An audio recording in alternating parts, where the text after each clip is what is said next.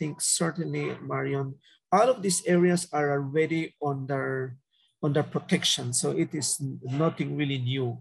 Some of them already have management plans. For example, the Mountain Pine Ridge, they have just finalized a management plan for the area, or you know, from what I understand, it is pretty much on the last end of finalizing that management agreement.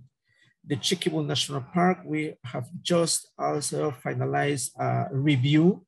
Um, so that would be a new, an, an updated management plan there. Caracol may probably also have on the same kind of the context of NICH, they would have some management regime.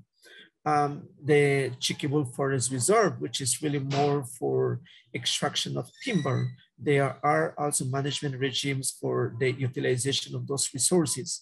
So in a way, there's already data. In, but I think that's also, uh, you know, one of the key points also, Ali, is um, the matter of consultations. There have been also consultations done, um, some, you know, in fact, up until last year, the Sustainable Development Plan for the Mountain Pine Ridge and Chiquibul, it was, and, and, and Caracol, um, there is a sustainable um, you know, management plan that was developed for that. So there's already foundations.